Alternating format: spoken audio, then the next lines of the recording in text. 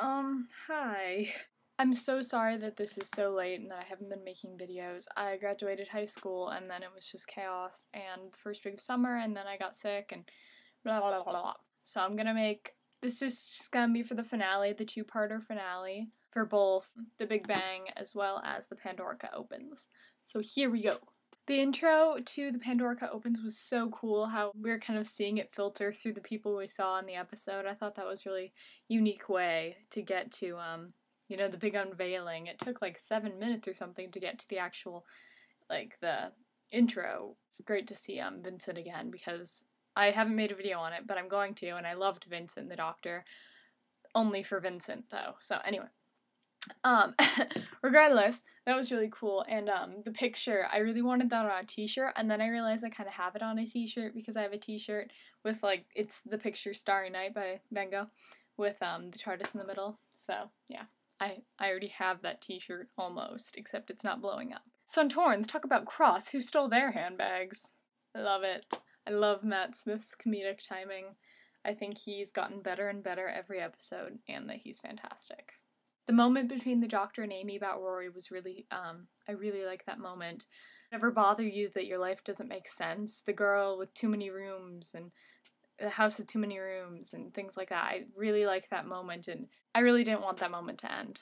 The crack in the Cyberman head looked really freaking awesome. Next on my notes is Rory in all caps with an exclamation point and then poke lol when uh, the doctor pokes her i thought that was really funny. And heartbreaking. Did she miss me as well as uh, you have to be bra- very brave now rory. Oh i didn't think it would hurt as much as it did as in like hurt my soul as much as it did but hmm. thinking back on that even though i know the outcome of the big bang it's still crushing. The doctor's epic yell up at the sky even though like is nothing because they're all plotting against him anyway. And so, uh, but I still thought that was so epic and cool and awesome.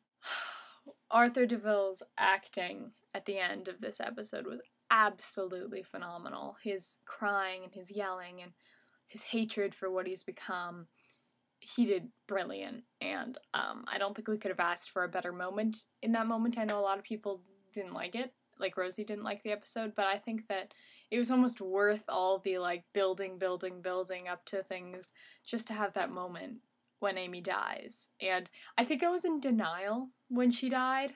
I was like, no, she can't be dead. That's not how things work. That's not how this is gonna happen. Because I love Amy so much. In fact, I went and put on my big baggy red sweater that Amy has, and um, I came out and sat down and said, Amy Pond lives. Um, because I'm such a nerd. But yeah, I was definitely in denial, but Rory, he was oh, so good. So good.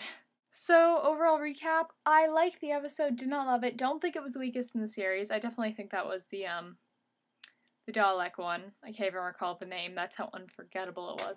But uh, I definitely think that was probably still the weakest in the series. Um, but I liked it. I liked it quite a bit. On to the Big Bang. I love that little girl, and I didn't realize until I watched Confidential that it's actually um, Karen Gillan's cousin. That's really that's really cool. it's cool to finally see Amy's aunt or aunt, um, because I mean I built her up in my head as this like horrible person, cause just because that's how they kind of make her out to be in the first episode, but she wasn't as bad as I thought. I also thought it was really cool that there was no such thing as stars in um, this world because they've all gone out. I wrote in here how rude steals her drink question mark. Amy, she was in the Pandorica. Oh, so much joy happened right then. And she said, All right, kid, this is when things get difficult, or whatever she said. That was so fantastic. I love Karen Gillan so much.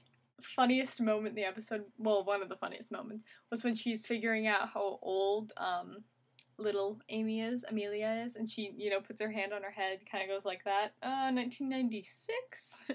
that was so funny. Amy's whole life kind of seems like a fairy tale, like everything that happens to her and everything she does, even her name, Amy Pond, that sounds some, like something out of a fairy tale. Um, sorry if you can hear the cars outside. But Rory pulling the Pandorica for 2,000 years, so fairy tale like. It was gorgeous that oh man that filled my heart with so much joy and it just like warmed me. You know, when things just like you read about things and they just make you so happy. That's what happened. I was giddy. 2000 years alone. Like with the person you love on the other side of a thick metal box. That is impressive. When they start kissing and the doctor is like, you have to breathe, and then uh, Amelia asks for a drink and he goes, It's all about mouths today, isn't it? So much wibbly wobbly, timey wimey. I wrote that down. It's really awesome. I loved the time. I love Moffat's use of of time and jumping and I think that his stories are so strong. He has such he's such a storyteller. It's a fez. I wear a fez now. Fezzes are cool. So good. Fezzes are so cool. Bow tie, cool. I can buy a fez. I, love that, you know, the universe is ending, but he's, you know, concentrating on the fact that he needs to buy a fez, which someone mentioned Doctor Who Confidential, and I thought that was quite funny. I wrote LOL Space Florida because there was that shot of um, Amy and the Doctor in the TARDIS going to Space Florida. Love that. I was so right about Future Doctor. I called that. I feel really proud of myself. I definitely felt proud of myself when I when I first saw that. It was impressive that I actually called something right. Um, yeah, Future Doctor. Oh, I love that moment. That's probably my favorite moment in the whole series when he says, "You have to trust me." I, I, I go back and watch that scene sometimes. It really struck me when um, they were sitting at the wedding and she opens the book, and I was like, "No spoilers." It was oh, that was sad. That was really sad. And and then the boat, she sees the bow tie and the suspenders, and then she looks down, and the book is the TARDIS, and Oh, I loved the the whole something borrowed, something blue, um, something old, something new, something borrowed, something blue. I love that. I thought that was just fantastic. It, using something that's always like always said around weddings and using it to their benefit. And the doctor is brilliant. That moment he had with Amelia when he kind of ignited that within her, even though she was asleep, fantastic. And um, I wonder. I, I'm still wondering if he was planning ahead what he was gonna say to little Amelia, knowing he was gonna be there when he was like reversing in time. Did he just know he know he'd end up by her bedside, telling her these things for her to remember? I don't know. I, I'd like to get inside the doctor's head for that little bit, but uh, I still loved it. He came back. He came back. That's what I've written down here. The dancing. I love him. I love love that trio, the dynamic that they have. It's so good. They make me so happy. The last two notes I have are first, everything's going to change now, isn't it, River? Which is a Harry Potter joke, but um, the way she says, like, I'm sorry, but everything's going to change now, it was very, very end of Goblet of Fire. I still don't like River that much. I'm excited to see Rosie's video on River Song. I might make one too. The last note is yes, because they're all going off into the universe together, and it's a wonderful, beautiful thing. And I loved this finale. One of my favorite finales. Oh, all the finales are just so good.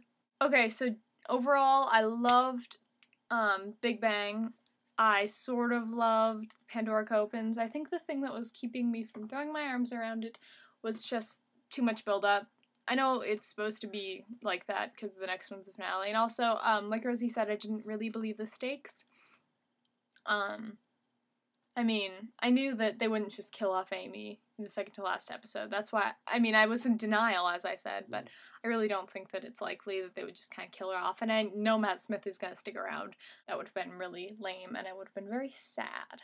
I think the confidentials this season have been better than a lot of other ones. I really enjoyed watching them tour, and I think it might be because they're both so new that we're it's just seeing their new dynamic together Okay, once again, sorry this is late. Um, let me know what you think about it and uh, voice any concerns or questions you have about the, the finale. And I'll try and get back to you, but I've been really busy and then I got like a 24 hour flu and so I'm not I'm not quite feeling up to uh, things yet, but we'll see. I also want to make more videos on this channel. Allons-y Alonso.